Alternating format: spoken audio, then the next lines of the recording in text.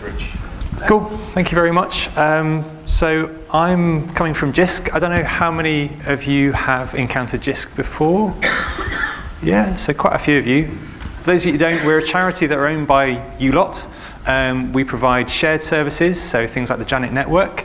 Um, we do deals on behalf of the sector, so things like services and resources. And we provide advice um, to the sector as well. So I'm going to chat to you today about um, our unified web program. So our attempts to simplify our web estate for our users. Um, it was quite a lot, so, and we're fairly limited on time, so sorry if I rush through, but do grab me afterwards if you have any questions. So what was the problem? Well, it was this. And this wasn't all of them, this was just a couple of them, or some of them. And in fact, we didn't really know how many we had um, out there as, a, as an organization. Um, this is because of how we grew as an organization. We used to be very disparate. Um, we funded lots of different organizations. Those organizations ran projects, those organizations ran services, and every one of those had at least one website, if not a couple, and a Moodle, and a blog. So the first issue here was the user experience. Um, every one of these had a different user experience.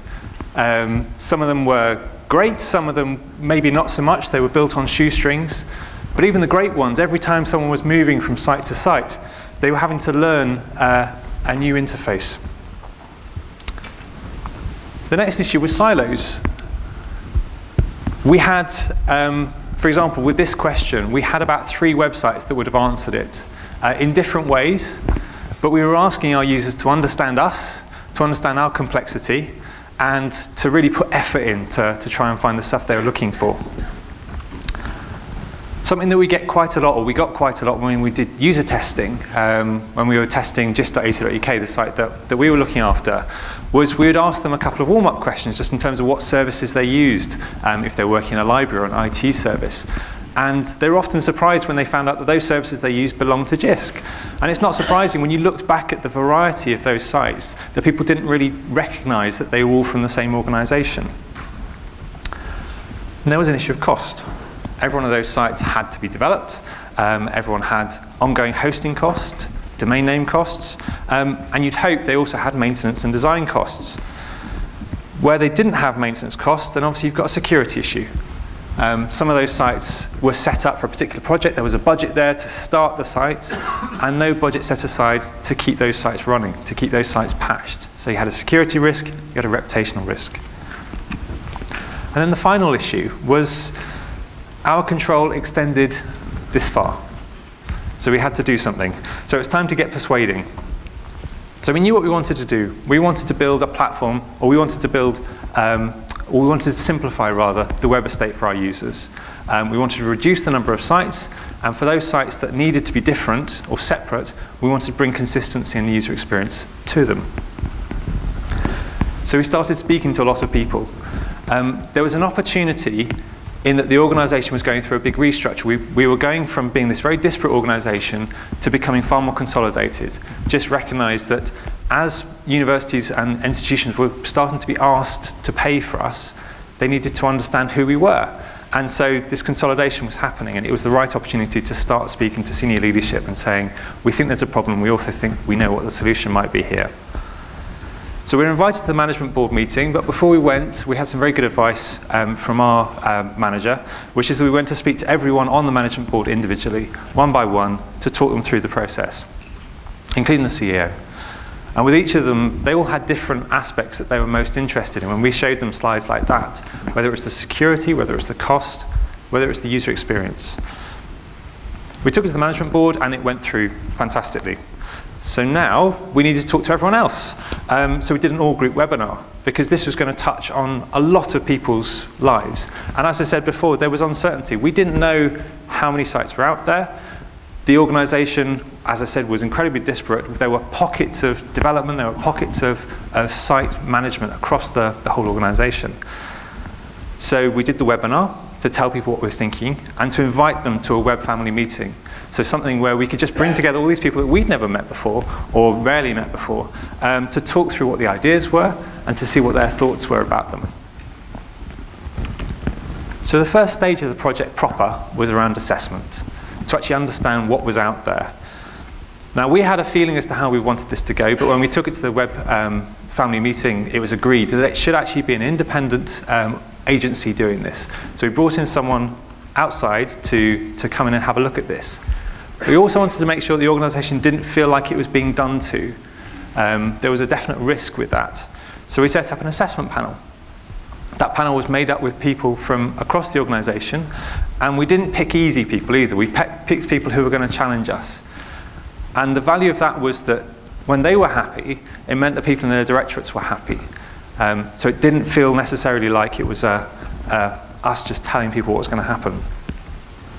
And we had one single criteria for the agency when they started work, was simply that the UX should be maintained or improved.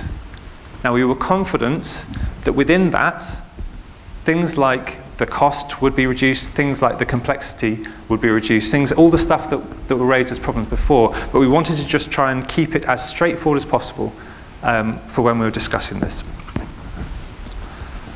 So in terms of the assessment, there were four criteria that the agency came up with when we were talking through it with them. Now the first idea was that things should be integrated. So by default, things should be moved on to jisc.ac.uk. And the idea being that there should be one home to find things. It's easier to promote the stuff. It's easier to discover stuff when, you're, when you know exactly where it's going. But we recognize that some of the services wouldn't necessarily fit into that model, and we needed to give them a bit more space. We needed to perhaps give them the whole user interface, but we still wanted to people, to, people to feel comfortable as to what they were doing and where they were. So the idea of the service mode site came in, where there's still a JISC feel in terms of typography, color, look. Um, basically trying to, to move towards something like the BBC model with lots of individual sites, but the, as you move through them as a user, you wouldn't really notice. We also recognized that there was a need for what we called an associate site. So these are sites which either contractually or, or just sensibly we couldn't brand as ours. So it may just be that we were a minor partner, or it might be that as an organization or as a, as a service, it needed to be independent from JISC. So we had that as the third criteria. And finally, we knew that there were some sites out there that were really redundant, that, that had perhaps been around for a particular project, um, and that project had ended a couple of years ago, and they were still sat there, so those could be archived um, and then closed down. So in terms of the outcome, they suggested that we focus on 101 sites. Um, I'm not sure why they couldn't quite manage to get it into a nice round number, but there you go. Um, so 45 to be uh, integrated, 25 service modes, 17 associate sites, and 10 that they suggested were redundant. And the panel saw through these um, recommendations and agreed with them, and we took them to senior management and they agreed as well. We also took the, the recommendations in priority order and asked them, is this the right order that we should be tackling these things with? There was a bit of tweaking, but we were then ready to start. In terms of lessons learnt, I think involving everyone was the key thing. Right from the beginning, we knew that there were lots of people out there who this would involve, so we needed to talk to everyone. Or at least give, at least give people the opportunity to talk back. Also getting the outside vo voice was critical. I think we've heard that quite a few times, that actually having someone outside come in and tell people the thing that you already have been saying for a while, it really helps.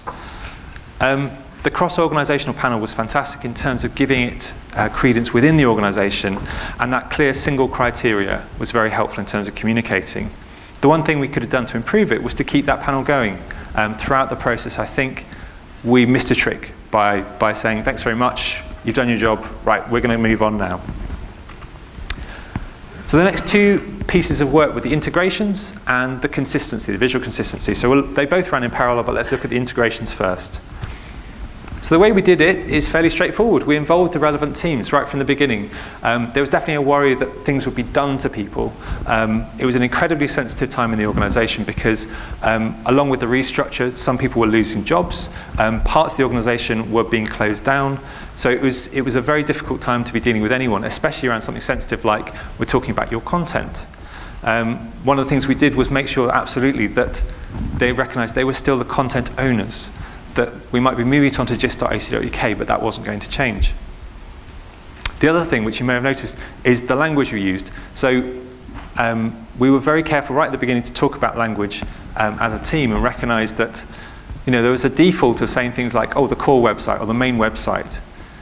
And obviously that's quite insensitive when you're talking to someone about moving content. So we made a very concerted effort that whenever we refer to it, it would always be moving content onto jisc.ac.uk. So the next step was the audit, which if they had resource, then they did it. So looking at the content that was going to move on to jisc.ac.uk, looking at their analytics, being really quite hard-nosed as to what made sense to come across and also what could be supported in the future. Um, but also functionality that needed to come across. And then they put together a proposal. Or if they didn't have the resource there, then that was done by our team. Um, through this process, we had a team of three content editors who also, who also had to do business as usual. And this process lasted about 18 months. Um, we then look to refresh and migrate the content across, communicate to users, and then redirect. And over those uh, 18 months, we integrated or archived 44 um, services. Um, so there are 11 outstanding, which we have uh, a plan for, um, and that's, that's continuing, but there are 44 in that process. So how could we have improved things? What things went well? Well, talking, um, just being very open, um, making sure that when people started to talk to us, because people did, because they were nervous about what was going on, they heard about it, that we were responding. Um, the language that we use, so as, as I said, things like jisc.ac.uk, just small things, but I think they did help. Using the tools that are out there, so um, we had a lot of connection with the British Library. They were fantastically helpful uh, with helping us with the UK Web Archive, for example. Um, but also things like Siteimprove, which really helped to just look through the content before we brought it on, really sort of brute force stuff. Get help. Um, Richard very kindly was running a Bath content strategy camp, or Bath content strategy at the time, and um, ran a session with Kristina Halvorson, who is a guru when it comes to content strategy. So I was able to go along to that and just ask her a few questions at the end about how she might tackle this. So look for opportunities of where you can get help. I'm also aware of just the number of people in this room who if you drop them an email, they probably would help them in terms of other talkers who talk through stuff like this, and likewise myself now. Um, and the other thing is just take this opportunity to create the inventory. If you're moving the content across, um, if you don't already have an inventory, then just start building an inventory of your site because you're going to have to do it at some point, and it makes sense to do it now. So how could we have improved things? We could have talked more, much more. We could have been more available. We could have answered emails faster when people were worried. Um, I also think we could have communicated outwards more. We really wanted to blog whilst we were going through this and tell people what the running total was, tell people what sites had gone really well, sort of highlight the teams that had done fantastic work with us. Um, all the stuff that you see GDS doing. Um, in the end, it was just about time, but I'd have loved it if we could have done that. Um, the other thing was money. We were aware that, that we were making cost savings for the organisation, and that was going to be an important key thing later. Um, however, finding out getting that information as to how much was being spent on those sites originally was very difficult, not least because of the sensitivities of how things were going, and not least because of the disparate nature of the organization in that we weren't really sometimes the owner of that content or that information. Um, it would have been great to have, but it was very difficult to get hold of. I think also publishing our principles. Um, one of the things we had was, one of the struggles that we had was around links. And we went into this process with a very clear set of ideals that, that no link would be left behind. That the links would persist in terms of content that was moved, then it would be directed either to the content that was being moved onto the site or onto a UK web, web, archive, web archive where the content would sit. We had a lot of resistance from, from the people who'd be involved in that process saying, you know, that's, that's too much, that's, that's too much work, we, we can't do that. I think if we'd published the principle and explained why I'm there and built some momentum around that idea, I think it would have been easier to have those conversations and perhaps win some more battles. And lastly, just don't let people move and sort. It's that thing of moving house. It's like, we'll, we'll put it onto your website, we'll look at it later, and obviously that's just setting aside huge amounts of work for you in the future. So the next thing was the consistency project. So we had sort of a starting bit, the quickish wins. Um, when we first talked about bringing a consistent look to all of our web estate that was going to remain out, um, one of our um, senior managers said, that's great, can you do it in about two months? Because that's how long you've got.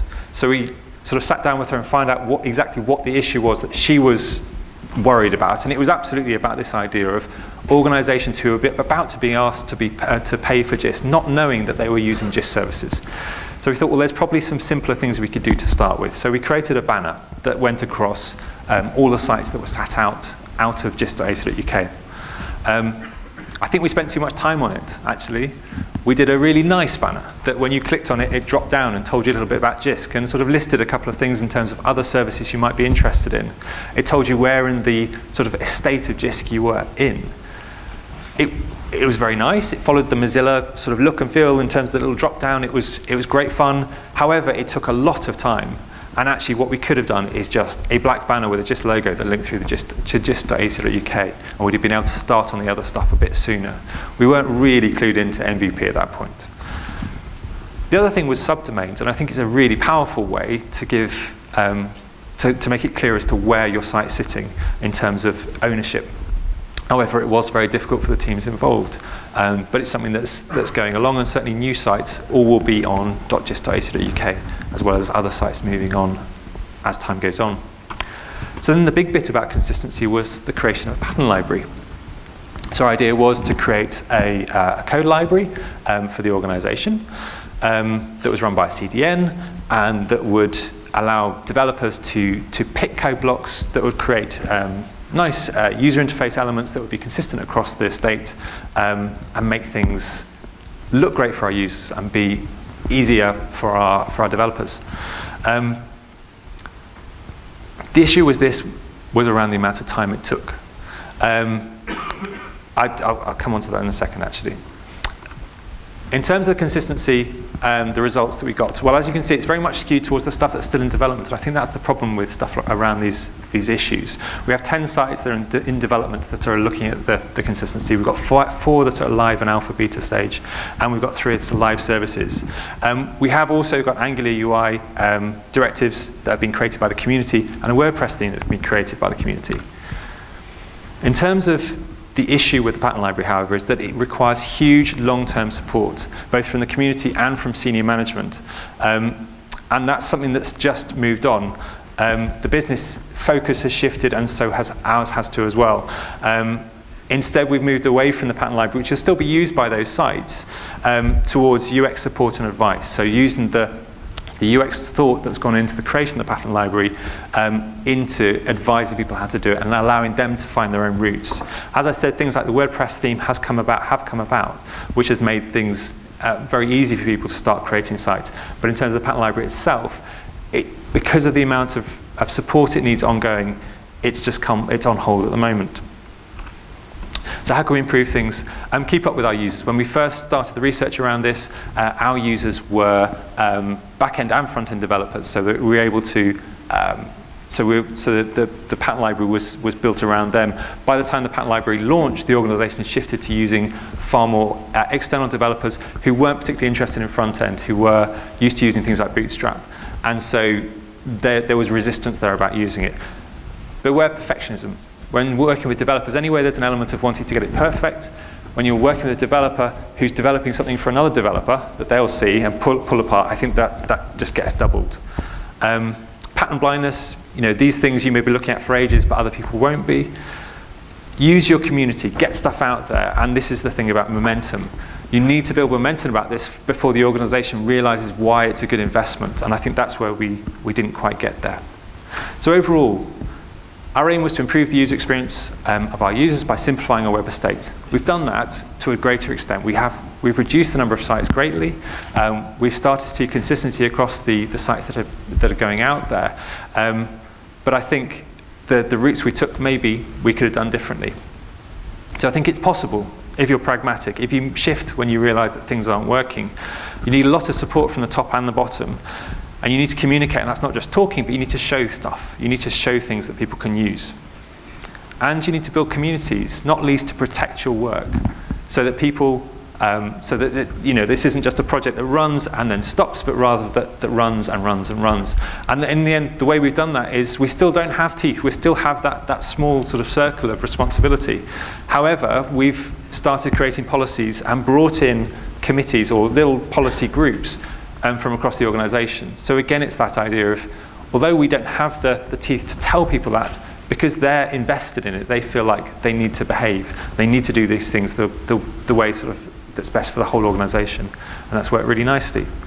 Just quickly chat around um, organizational change. So you've seen this once already, but I thought it was an interesting thing just to quickly um, jump into.